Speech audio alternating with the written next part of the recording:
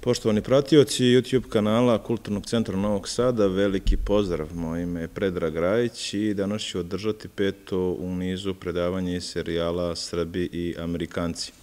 Ja već dugi niz godina predajem u Kulturnom centru Novog Sada, sada smo već ušli u sedmu godinu, ja rekao bih, veoma kvalitetne saradnje na obostrano zadovoljstvo. Iskoristio bih ovu priliku da se zahvalim direktoru Kulturnog centra Novog Sada, gospodinu Bojanu Panaotoviću, na prilici koju mi je ukazao i da istaknem koliko je zapravo Kulturni centar Novog Sada za njegovih mandata napredovao. Mislim da to uvek treba podvući, jer smo mi negde narod koji je sklon tome da zdravo za gotovo prihvata dobre stvari, a da obavezno kritikuje kada nešto smatra da je loše, pa nije nekad loše ni izneti pozitivnu kritiku, mislim da je to adekvatan način da se ljudi motivišu i nagrade za svoj trud, budući da svi mi koji se bavimo ovim poslom u suštini pronalazimo neko svoje zadovoljstvo više u spiritualnim nego materijalnim stvarima. Takođe, ja već dugi niz godina, sada već u osmu godinu ulazimo, dakle, predajem u američkom kutku, to je biblioteka u koja funkcioniše u okviru Kulturnog centra Novog Sada, i evo imat ćemo uskoro jedno druženje ponovo nakon letnje pauze i na Novosadskom keju u tom prelepom prostoru gde se okupljaju svi oni koji žele da nešto novo i nešto više nauče o svim američkim državama.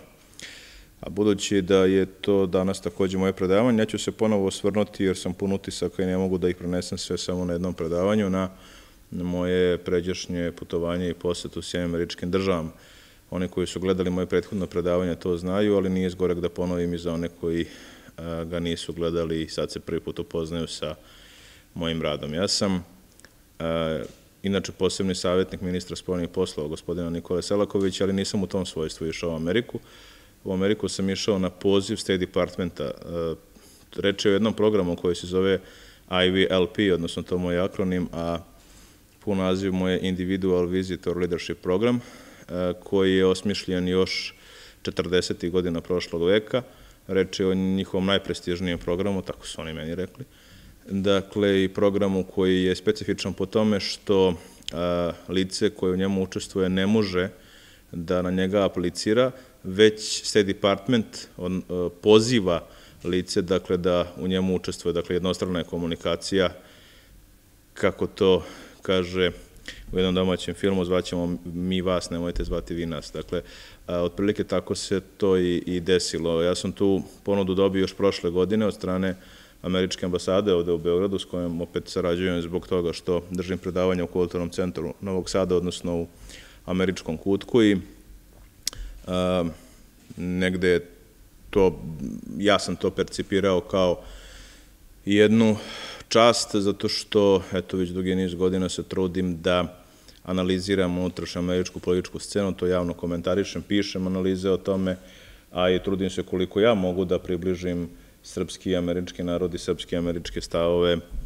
a znam da je to veoma teško, ali mislim da naša spojna politika sigurno nema složeniji zadatak od toga, a verovatno je u konkurenciji, zapravo sigurno u konkurenciji najvažnijih zadataka koje imamo, jer je moje duboko ubeđenje da mi ne možemo stvariti ni optimum, pa čak verovatno ni minimum naših nacionalnih interesa, a kamoli maksimum, ukoliko nemamo makar pristojni korektne odnose sa jedinom svetskom supersilom, a Amerika to jeste i dan danas. I ja sam tu pristalica teze i znam da sam u manjini, ali nije prvi put da sam u manjini, a da budem u pravu na kraju, da je ovaj svet i dalje unipolaran i da ima i dalje samo jednu supersilu svetsku a to je Amerika, ne govorim to što ja to hoću da govorim, to što ja to eto, predstavljam tako ili propagiram ili bavim se nekom vrstom indoktrinacije. Ja sam to govorio godinama unazad i mislim da se to poslednjim događajima u svetu samo potvrđuje, to će tek biti vidljivo u narednim godinama, dakle da je ovo što sam ja rekao istina, samo što je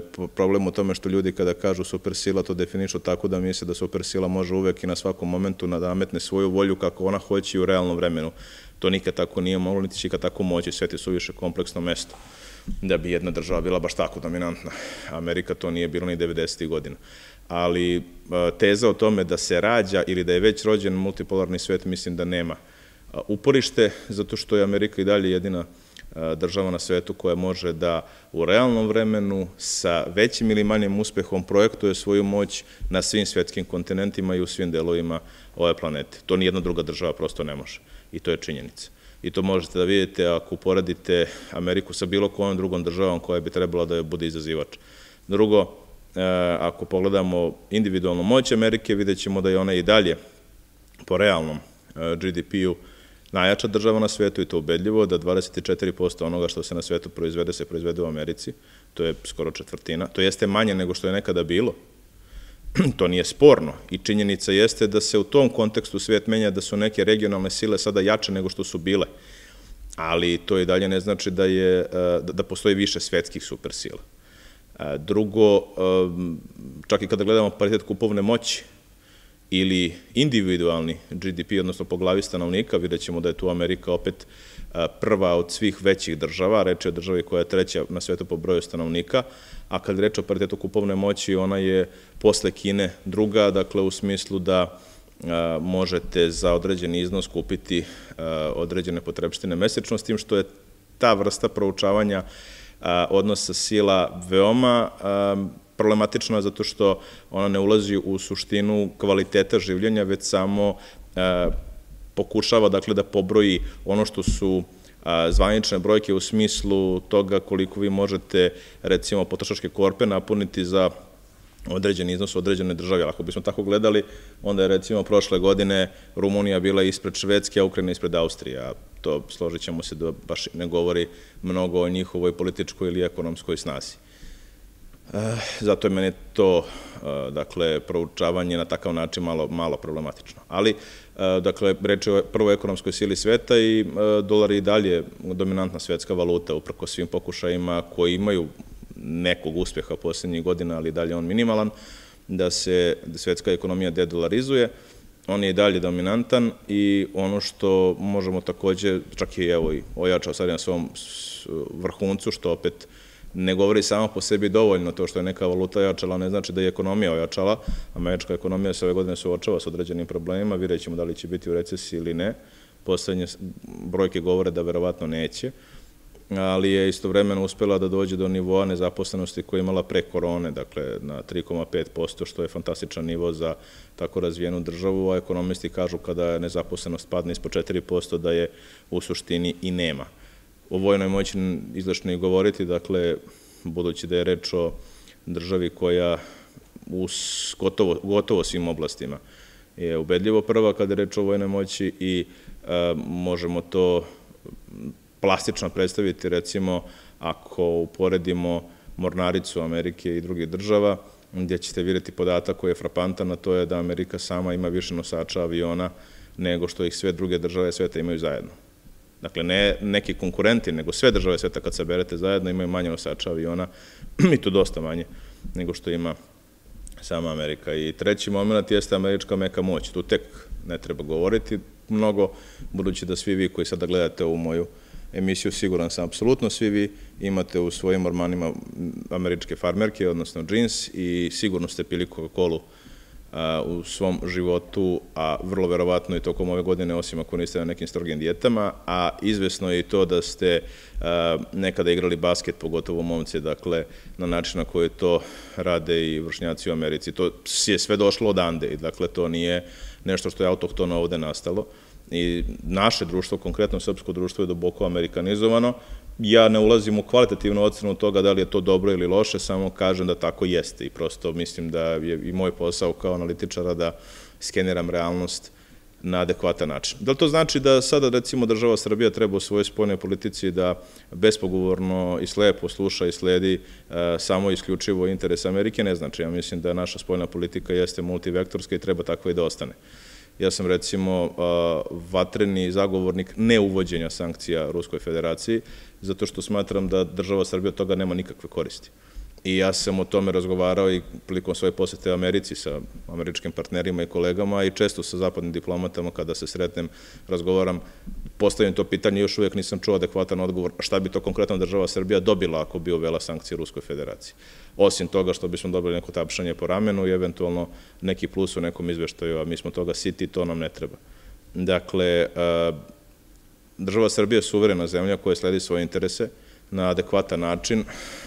Mi moramo biti svesni toga da, iako su nominalno države jednake u međunarodnim odnosima, to često nije tako i to smo na svom primjeru videli koja treba biti i svestan ko, je, ko zaista ima moć i kako s tim državama polemisati i ulaziti u odnose. Ja sam takođe, recimo, pristalica nesvrstavanja u vojne saveze, jer ne vidim šta bi nama tačno donelo članstvo u NATO-u ili ODKB-u ili nekoj trećoj vojnoj organizaciji, jer sve te organizacije su zvanično defanzivne, ali često kada glavni sponsor te organizacije želi, druge države članice koje su manje i slabije moraju da slede politiku velikog brata i da onda učestvuju u ofanzivnim operacijama. I Dakle, sve ovo vam govorim zato što mislim da je bitno razjasniti i raščlaniti neke stvari.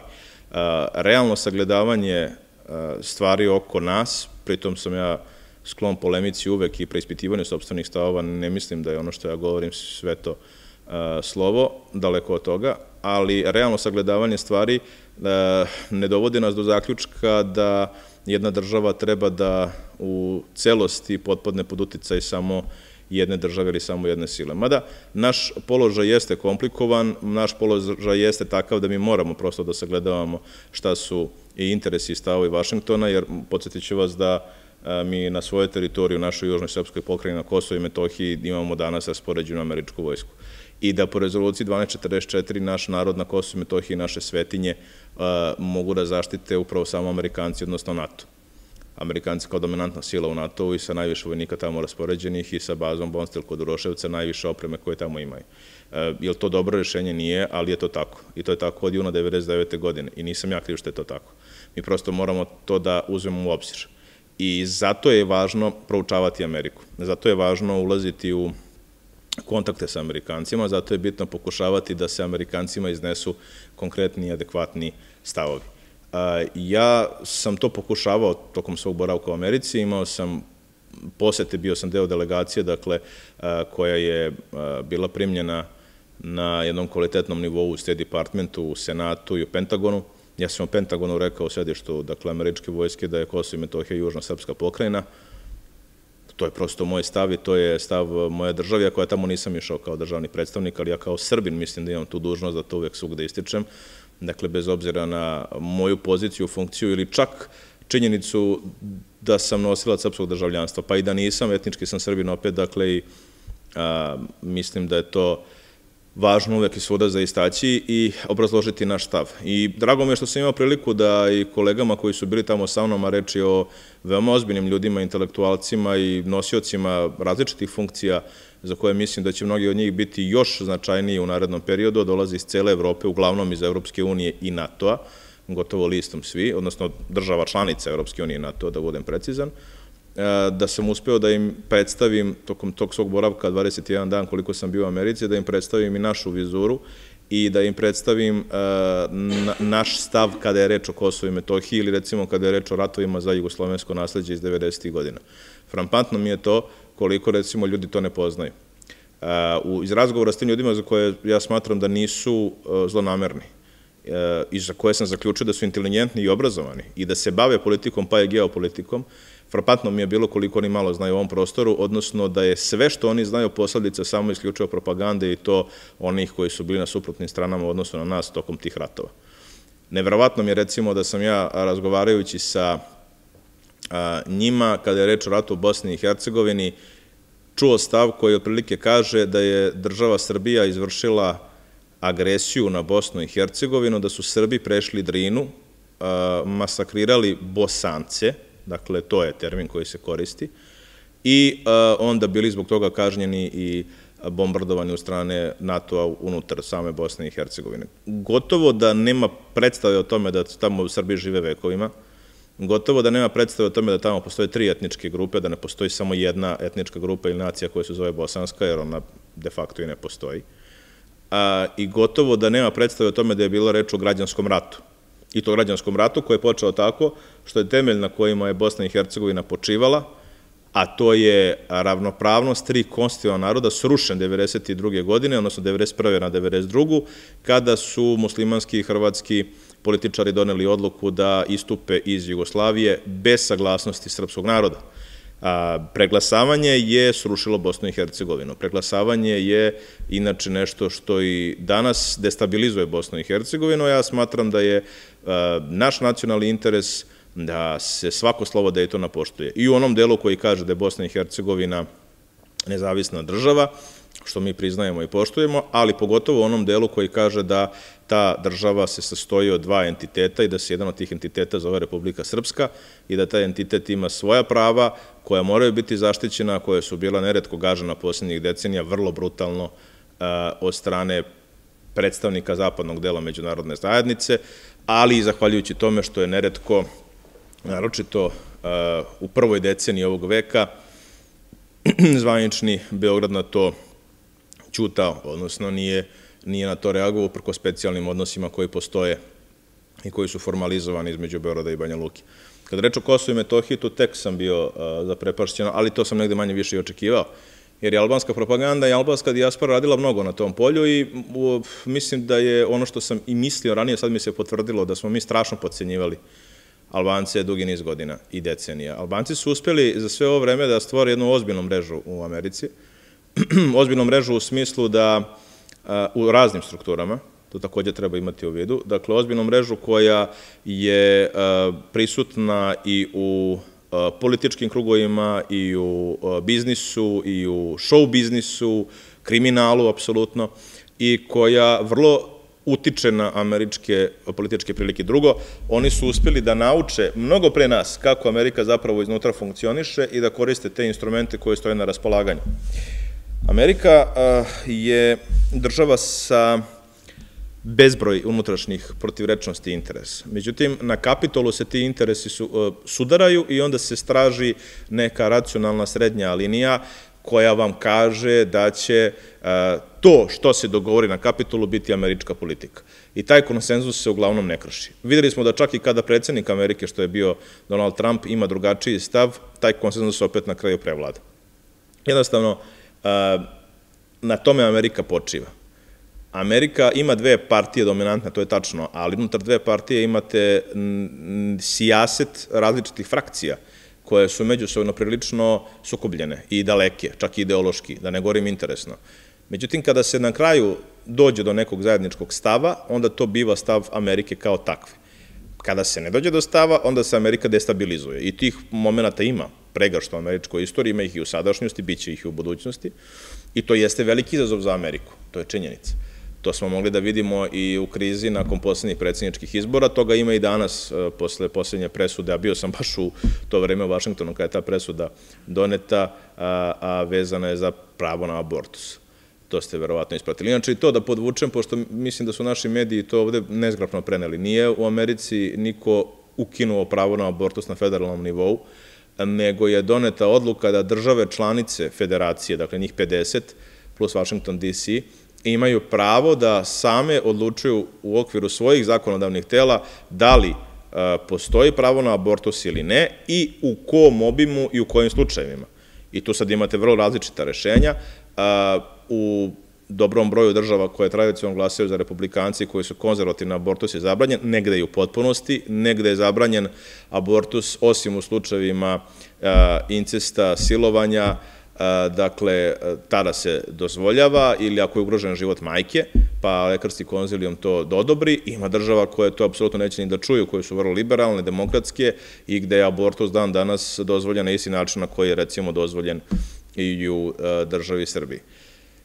E, zašto je to tako? Pa zato što je Amerika vrlo kompleksna država sa svojim, kažem, unutrašnjim različitostima, koje su konzervativnog karaktera, koje su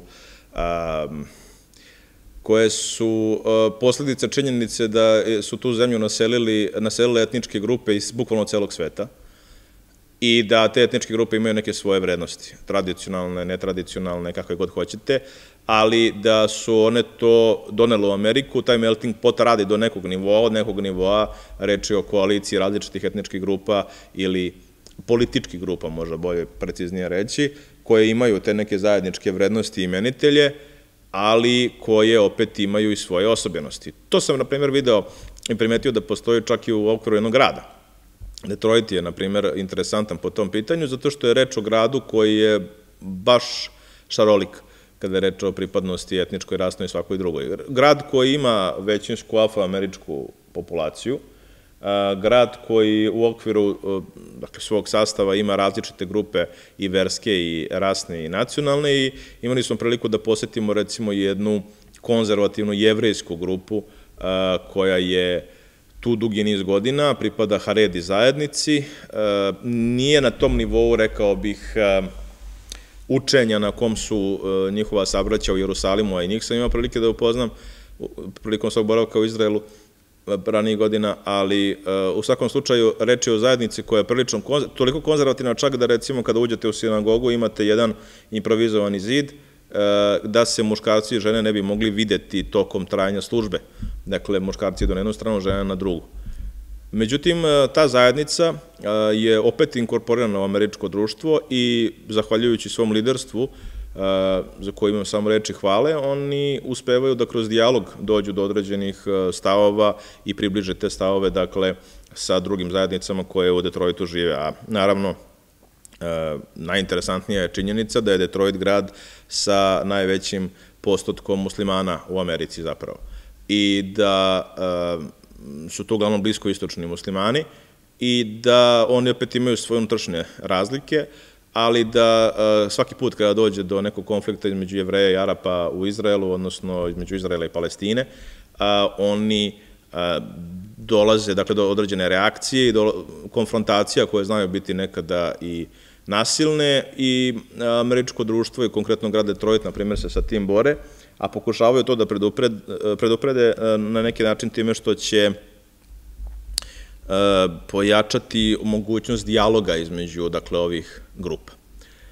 A sve ovo je, da kažemo, prisutno i u drugim gradovima u SAD-u. Ja sam imao prilike to da vidim u Detroitu, ali e, sa ovog mesta bih se osvrnuo i na našu zajednicu, na srpsku zajednicu koja živi u Americi i na koji način je ona tamo tretirana i kako je ona u, u američkom društvu prihvaćena i kako se u američko društvo uklopila.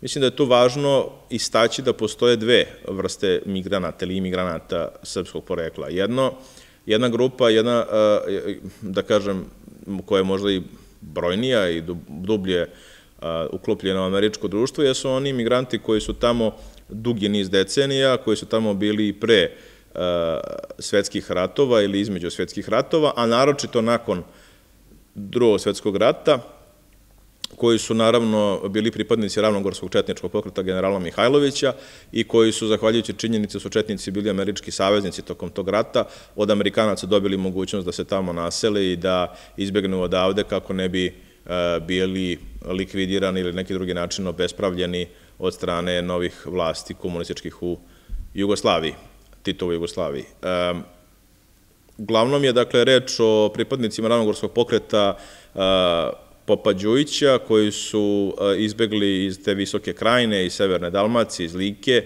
e, koji su preko Italije stigli do Amerike i najvećim brojem naseljili u Kaliforniji. Jedan deo njih se naravno naselio u nadaleko čuvenom Čikagu, za koji se pogrešno govori da je drugi najveći srpski grad, on to nije, jer broj Srba tamo nije ni blizu broja recimo Srba koji žive u Novom Sadu, a i manje od broja Srba koji žive u Nišu sigurno, ali jeste, da kažem, grad sa našom najvećom dijasporom tamo i mi tamo imamo generalni konzulat koji funkcioniše besprekorno i e, dobili smo jedno veliko priznanje zahvaljujući radu naše ambasade, ambasadora Đurića i konzula Jovića.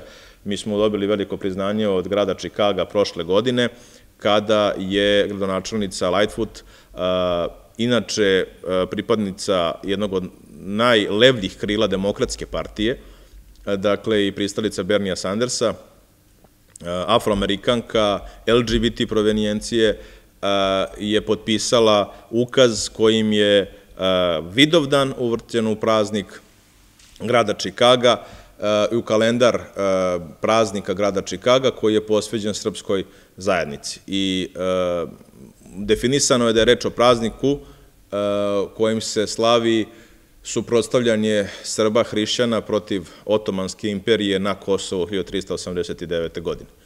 Mislim da je to veliki uspeh za našu državu i za našu zajednicu u tom gradu. Uh, procena je da u Čikagu danas živi oko 200.000 poreklom Srba, ali sad to morate imati u vidu nešto. Velika većina njih, apsolutno velika većina njih, dakle, sasvim sigurno dvotrećinska, verovatno i više od toga, uopšte ne govori srpski. Gotovo do nivoa možda od nekoliko reči, ali ne znaju srpski srpskim jezikom govore uglavnom ovaj pripadnici ovih drugih generacija i druge grupe migranata koje su došle u Ameriku, a to su ekonomski migranti i migranti koji su došli u Ameriku na, tokom i nakon raspada Titove Jugoslavije.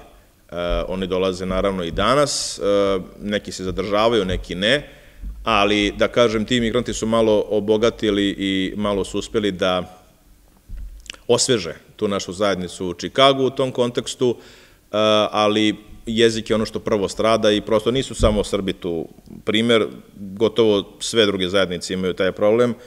U razgovoru sa meksičkim konzulom u Teksasu sam zaključio, na primjer, da u drugoj generaciji koja je rođena u Americi, Meksikanaca, dakle, ne govorimo o autoktonim Meksikancima u Novom Meksiku i Teksasu, nego onima koji iz Meksika dođu u Ameriku da žive i rade, u Teksas, Kaliforniju i druge savezne države, I to u savezne države gde već postoji visok procenat latino populacije koja govori španski, koji je svetski jezik, znači sve na njihovoj strani. I država to prihvata i vi sad često imate u Teksasu dvojezične mogućnosti komunikacije u javnom diskursu, dakle i u medijima i u administraciji i tako dalje. Bez obzira na to, njegov stav je bio, dakle da je njihova procena da u drugoj generaciji koja se rodi u Americi tih potomaka tih migranata, 75% njih ne govori španski kući. Dakle, ne govore ga kao jezik kojim se dominantno služe. Iako se španski uči širom Amerike kao prvi strani jezik u suštini i najdominantnije zastupljen i u onim sredinama gde nema latino populacije, ali eto, pošto je engleski već svetski jezik, a moraju neki svetski jezik da uče, onda uglavnom uče španski. I bez obzira na to, opet se jezik gubi. Toliko je jaka ta privlačna moć američkog društva i želja da se ljudi u njega uklope, tako da tu ne treba našu zajednicu kriviti jer je vrlo teško očuvati srpski jezik, dakle u tom, u tom kontekstu. Srpski se gotovo uopšte tamo ne govori. A kada je reč o o ovim starijim govorim, starijim dakle, generacijama pogotovo, kada je reč o mlađim, ima, ima promena, međutim, opet i oni koji se rađaju kao deca tih migranata iz 90. godina dominantno naravno govore engleski, srpskim, ko se služe koliko želi. Naša crkva je tu učinila mnogo da se očuva koliko toliko izučavanje srpskog jezika u Americi, ona je dalje prisutno, naša država to pomaže, tu sad postoji jedna mnogo jača simbioza poslednjih godina naše države, naše crkve u toj borbi, ali opet to je više na nekom nivou interesovanja za poreklo i tog momenta koji je kulturološkog karaktera, mnogo više nego li što je reč o činjenici da će se srpski izučavati da bi se njime govorilo kući ili da bi on postao dominantan jezik. To prosto nije realno. Ali je dobro da se jezik izučava, da se Ćirilica piše, da se vrše službe, da je Srpska crkva aktivna u celoj Americi i to je nešto što može da nas raduje i da postoje mediji koji čak i komuniciraju na srpskom jeziku, recimo ima i toga, dakle, u Americi apsolutno, ali e, i daljina takođe, geografija naravno čini svoje i činjenica da veliki broj tih Srba ili Srba poreklom nisu nikad bili u Americi. Zašto to razdvojam Srba ili Srba poreklom? Pa ima Srba koji su tamo dugi niz godina, ja imam recimo rođaki u Kaliforniji, ali su se oni vremenom naravno mešali sa Amerikancima i sa drugim etničkim zajednicama. E sad tu imate situaciju da neke porodice baštine srpsko poreklo, pogotovo tamo gde je ta muška linija bila srpska. I onda ako imaju srpsko prezime, recimo familija moje majke Milovići, uh, Srbi iz Crne Gore, oni uh, baštine tu neku tradiciju i svest da imaju srpsko poreklo, ali oni su naravno Amerikanci, oni su već četvrta, peta generacija, pazite, u Americi, konkretno u mom slučaju to je već peta generacija u Americi, koja je tamo rođena, jer je to bila onaj, onaj prvi talas koji je šao još u krajem 19. veka, dakle u Ameriku, nakon što je izbila Zlatna groznica u Kaliforniji i tamo su ostali. Dakle, oni imaju tu neku svest da pripadaju srpskom narodu, ali to je više na folklornom nivou i to je i razumljivo i naravno da je maksimum što možete očekivati da oni budu vernici Srpske pravoslavne crkve, u kojoj se opet iz pragmatičnih i praktičnih razloga službe vrše na engleskom jeziku, zato što srpski nije toliko poznata i postoji taj problem što je srpski bitno različit od engleskog, iako pripadaju istoj porodici indoevropskih jezika, ali složit ćemo se, nije baš nije baš sličan i težak je za učiti. Ako vam je engleski dominantan jezik, jezik na kom razmišljate, ono što englezi kažu native language, dakle, jezik koji vam je primaran, a teško je učiti srpski iz početka i to svi lingvisti kažu prosto da nije, nije jednostavno za njime ovladati. Naravno u sredini gde se taj jezik ne govori, to je onda tek, tek težak posao. A, koliko je srpska zajednica politički involvirana, zaključio sam da je mnogo prisutnija u Ohaju, u, u to političkom životu, nego u Illinoisu, gde se nalazi grad Chicago. A ima i to svoje logično objašnjenje. Illinois je velika država. Chicago je ogroman grad. Jedan od pet najvećih gradova u Americi. I reč je o gradu u kom postoji vrlo dominantna i brojna afroamerička zajednica i vrlo dominantna, brojna i dobro organizovana italo-američka zajednica, odnosno amerikanci italijanskog porekla. I naravno da su oni tu preimutstvu. Srbi, hteli ne hteli, ne mogu da igraju tu ozbiljniju ulogu, a i Illinois je tradicionalno plava država, tvrdo demokratska država, država u kojoj demokrati pobeđuju uvek poslednji put je republikanac pobedio Illinoisu 84. godine kada je kandidat za svoj reizbor se kandidovao Ronald Reagan koji je tada ostvario pobedu koju niko nikad nije pre njega i niko nikad neće sigurno više u budućnosti, jer je on tad pobedio u 49 od 50 država u Americi. Izgubio Washington DC-u koji nije država, ali ima pravo na elektore i izgubio je u državi, mislim da je Montana u pitanju ili, ne, Minnesota, Minnesota je u pitanju, odakle je dolazio njegov protiv kandidat. Tako je, Montana je crvena država uglavnom, ali dakle u Minnesota je izgubio koji inače, da kažem, naginje plavima i tamo plavi uglavnom pobeđuje, pobedio je tamo i to s malom razlikom njegov protiv kandidata. Svugde drugo je, dakle, Reagan tada dobio, pa i u Illinoisu. Ali to je to tako bio jedan crveni talas koji je zaključen u Ameriku i koji je specifičan. U Ohio je malo drugačija situacija. Ohio je swing state. To je država u kojoj pobeđuju i demokrate i republikanci. Obama je posljednji put tamo dobio za demokrate, nakon njega dobija Trump dva puta, pre njega je jednom dobio Gore, jednom Bush i tako, dakle, baš klasičan swing state koji govori o tome da je moguće glasati za plave i za crvene. E, u toj državi, iako je srpska zajednica tamo brojem manja nego u Illinoisu, ali odlično organizovana, tu Srbi znaju da igraju značajnu ulogu.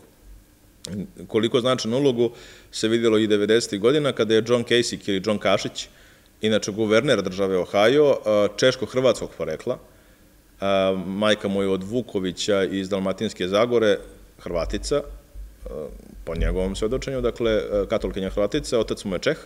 On je rođen u Americi, naravno Amerikanac je, međutim, on je zastupao tvrdo prosrpske stavove, čak i 90. godina, uprko s tom svom delimično hrvatskom poreklu, tvrdo prosrpske stavove tokom ratova za jugoslovensko nasledđe, građanskog rata u Hrvatskoj i građanskog rata u Bosni i Hercegovini. I protivio se NATO agresiji 99. godine. Dakle, jedan od redkih koji se tada u američkom establishmentu, iako republikanac i opozicija Clintona, ali bez obzira, gde republikanci su 90. godina ubedljivom većinom podržavali NATO agresiju i podržavali su Clintonovu politiku prema Bosni i bivšoj Jugoslaviji. Dakle, tu nije bilo neke razlike, tu je nažalost postojao konsenzus protiv nas, ali dakle, on je tada glasao on je tada glasao, dakle, na, i uopšte oglašavao se, tako da kažem, protiv bombardovanja. Zašto? Pa jedan od ključnih razloga je taj što je on zapravo pobeđivao glasovima srpske zajednice koje žive u Ohaju. I on nije želeo da se srpskoj zajednici zameri u tom kontekstu. I ja sam intimno, pravo da vam kažem, navio 2016. godine da on bude kandidat republikanaca na predsjedničkim izborima, a ne Trump, zato što je on zapravo jedini istinski, iskreno sve vreme bio prosrpske orijentacije, a da se bavio američkom politikom na nešto višem nivou. Međutim, to je bio incident tada, mi tada nismo radili ništa, dakle, na polju uticaja na američko društvo i to je zaista ovako bio splet okolnosti. Naš kokus danas je mnogo jači nego što je bio, naš kokus danas broji recimo više demokrata nego što je ikada ranije broja ukupan broj članova kokusa, kokus vam je lobby grupa u kongresu, kongres je najviše zakonodavno telo Amerike koje se sastoji od dva doma, donjeg i gornjeg doma, donji dom se zove predstavnički dom ili House of Representatives, a gornji dom se zove Senat. Čisto kažem svaki put to jer se pogrešno našim medijima govori kongres i senat. Ne postoje kongres i senat, postoji kongres koji se sastoji od predstavničkog doma i od senata. I dakle u okviru kongresa ta naša kokus grupa danas broji maksimalan broj članova, uspeli smo da napravimo pre svega rekao bih zahvaljujući ozbiljnoj strategiji i diplomatskoj ofanzivi predsednika Vučića, radu ministra Selakovića, radu ambasadora Đurića i njegovog tima. Uspeli smo da dođemo do toga dakle, da se danas naš glas na kapitolu čuje i da mi danas možemo u konkretnim razgovorima sa republikancima i demokratama da iznesemo svoje stave. Zaključit ću ovo predavanje svojom ocenom poslednjih zbivanja. Taj naš prodor na kapitolu se sada već vidi i ima neke svoje plodove i na Balkanu. Ako neko misli da će Amerika naglo i u celosti da zaokrane svoju politiku u ovom delu Evrope, taj je naivan. To se neće desiti, niti to može biti neki realan cilj naše politike. Ali ono što može biti cilj i što jeste cilj naše spoljne politike jeste da se utiče na Amerikance koliko god je to moguće da makar saslušaju naš stav i u skladu sa tim rediguju svoj stav. Kad kažem da Goranito promene svoje stavove, onda govorim o tome da je nerealno zanositi se idejom da će oni da povuku priznanje takozvano Kosovo. To se nije desilo ni Trumpu veri. Ne bi se desilo čak i da Trump ponovo pobedi, na primjer, 24. godine. Prosto ne bi.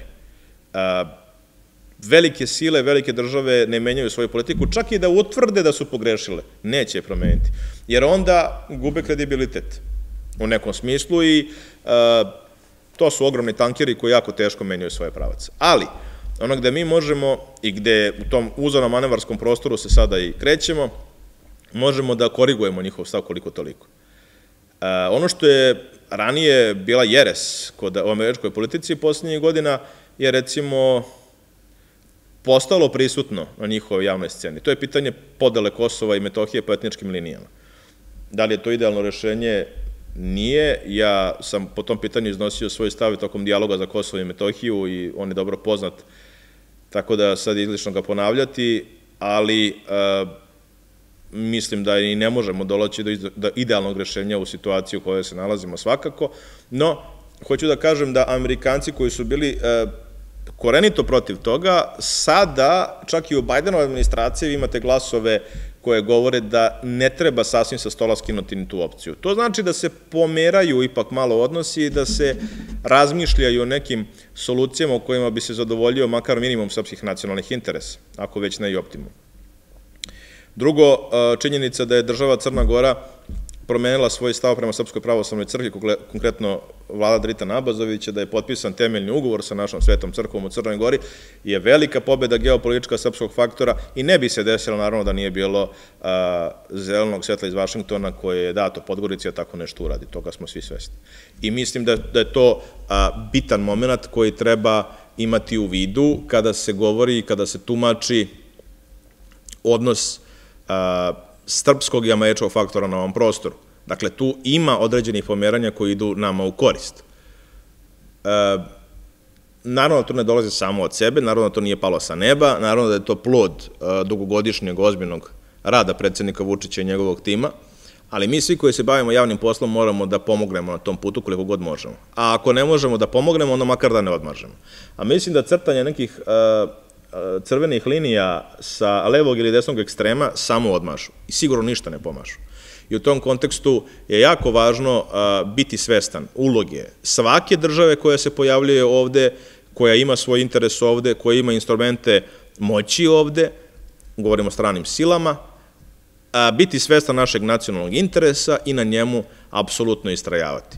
I zato koristim i ovu priliku da apelujem na sve koji žive u državi Srbiji da daju svoj doprinos očuvanju mira i stabilnosti u našem društvu i našoj zemlji. Čeka nas teška jesen i zima, turbulentna na evropskom kontinentu, vodi se najveći rat na starom kontinentu, dakle u posljednjih 70 godina koji svojim gabaritima sad već privazilazi ratove za jugoslovensko nasledđe. Jedan surov, bespoštedan rat nama dva bliska naroda koji mene lično veoma emotivno pogađa i boli, a posljedice tog rata ćemo sigurno svi osetiti jer živimo na istom kontinentu i na istom prostoru.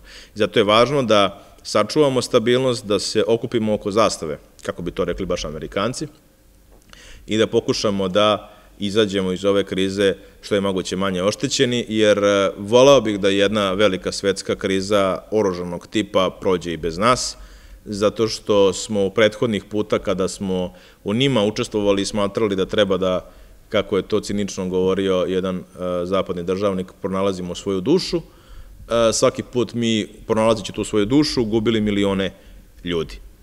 I taj moment je, ja mislim, važan za istaći i za imati na umu u kontinuitetu. Hvala vam na pažnju.